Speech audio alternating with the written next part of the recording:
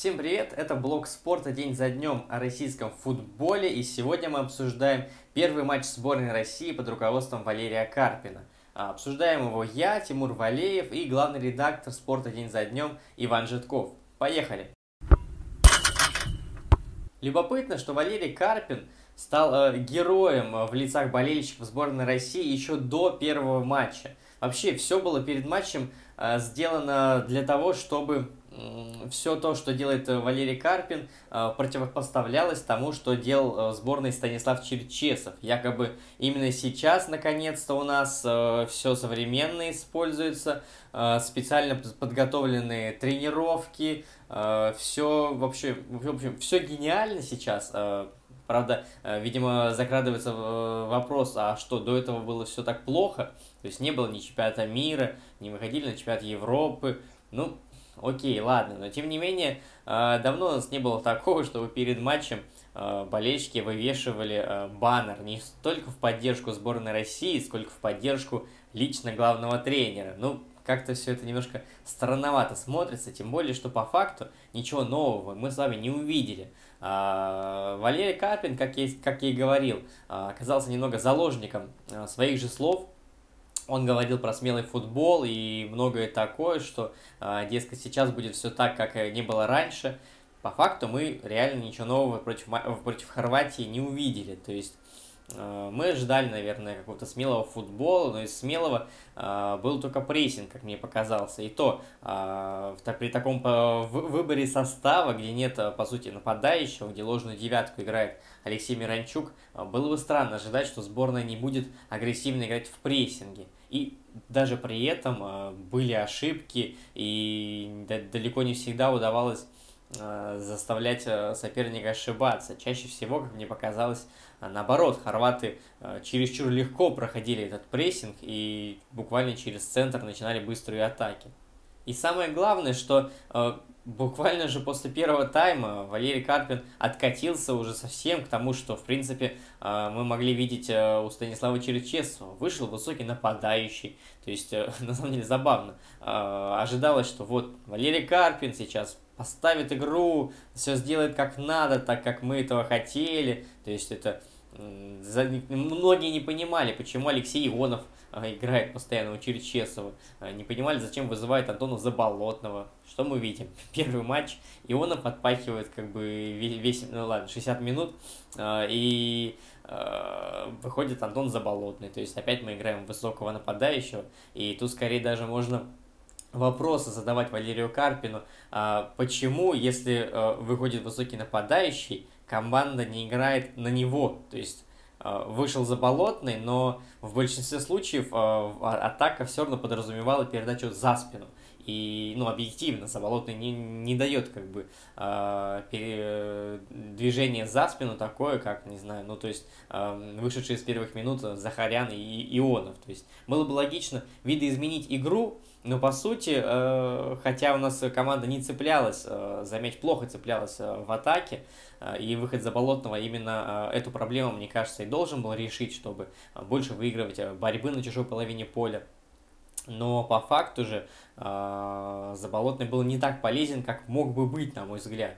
То есть создалось, создалось полное впечатление, что на тренировках не наигрывалось вариант игры с высоким нападающим, то есть э, был плохо налажен э, подбор, и все это в итоге э, приводило к тому, что хорваты слишком легко получали мяч, а наши атаки, по сути, заканчивались в течение там, 10, ну максимум в редких случаях 15 секунд, или какими-то стандартами, вроде как ауты около чужой штрафной.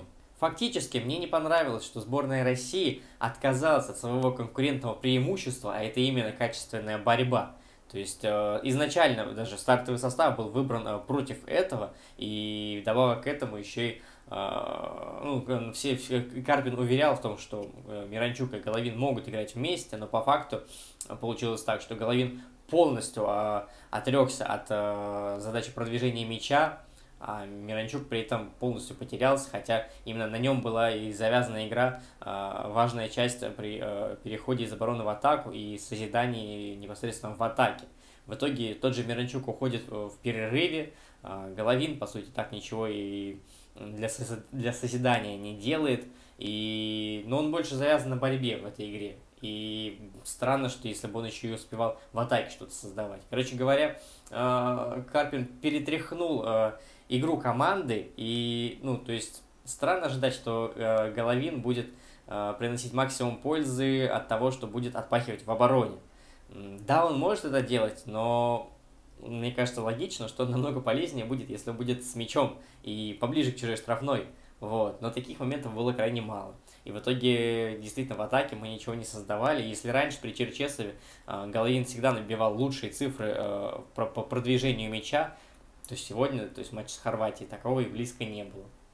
И мне кажется, что Карпин немного перемудрил с желанием э, отказаться от всего э, черчесовского, и в итоге мы не показали того, на что способны. Окей, да, это прикольно, сборная России, как ни показалось, играла быстрее, чем при Черчесове, ну или, по крайней мере, старалась действовать быстрее, и в первые 15, 20, может быть, даже 30 минут это плюс-минус получалось, но при этом, как бы, э, нельзя сказать, что мы э, были достаточно близки к положительному результату. Мы скорее могли проиграть, чем э, выиграть в этой игре, и мне кажется, что отказываться в таком случае от того, что у нас действительно работало, а это именно игра с высоким нападающим, это переход из обороны в атаку, который действительно работает в нашей команде, отказываться от этого бессмысленно, как минимум потому, что, ну, come on, в нашей лиге, э, где играют футболисты сборной России, нет развитой э, позиционной атаки без э, участия высокого нападающего. Если мы посмотрим это и «Зенит», и «Спартак», и ЦСКА теперь тоже, все эти команды, да даже «Рубин», построены, и Локомотив в целом тоже, что за лыж, а, построены на то, чтобы иметь высокого нападающего, и по сути только когда этот высокий нападающий есть, только тогда эти команды успешны в позиционных атаках, да и по большому счету даже в быстрых атаках они более успешны, когда есть этот высокий э, столб, с которым можно отыграться. И самое главное, что этот нападающий должен быть сыгран со всеми ребятами, и нужно прекрасно чувствовать его, хорошо играть на подборе, потому что это создает конкурентное преимущество, которым, как мне кажется, мы могли э, пользоваться против такой э, достаточно ну, слабой Хорватии, которая в отсутствии там Домагоя Виды, в отсутствии там Луки Модрича, это команда, это игроки, которые, э, ну, лидеры, лидеры на поле. Они ведут команду за собой. И в их отсутствии, мне кажется, что сборная России могла рассчитывать больше, чем на одно очко. К сожалению, достичь этого не удалось. А, и я считаю, что мы скорее сейчас больше потеряли конкретно после этой игры, чем приобрели, особенно учитывая, какие сложные предстоят нам впереди матчи. Вроде бы кажется, что это Кипр, что это Мальта, но вон Мальта громит Кипр, хотя это кажется а, чем-то нелогичным и явно очевидно уже, что э, за следующие очки э, в группе нам придется бороться э, ничуть не легче, чем, чем это было с Хорватией. Сказать, что я удивлен этому результату, я не могу принципе, ничья с Хорватией это то, что при наличии некоего запаса, который сборная России все-таки имела, вопреки многим мнениям после Евро, э, можно было с ней сыграть ничью. Э, с другой стороны, смелого футбола не получилось. Э, в принципе, тоже это следовало ожидать. Хорватия команда, которая себя очень хорошо знает. Сборная России пока себя хорошо при новом тренере не знает. Знает ли вообще пока тоже непонятно. Но в целом можно результат посчитать положительным, потому что вы же помните, что Хидинг тоже когда-то начал с официального матча с Хорватией, сыгранного в ничью 0-0 при довольно невнятной игре в Черкизово. В итоге все это кончилось выходом на Евро. Ну, очень э, ситуации такие смутно похожие, но почему бы не провести лишнюю параллель. Э, пока матч э, пищи для размышления особо не дал. Смотрим, что будет на Кипре. Там, по-моему, в 4 часа игра. Будет жарко во всех смыслах. Это был блог «Спорта день за днем» о российском футболе. Меня зовут Тимур Валиев. Если вам понравилось, подписывайтесь, комментируйте, ставьте лайки и оставайтесь с нами. Любите футбол. Пока.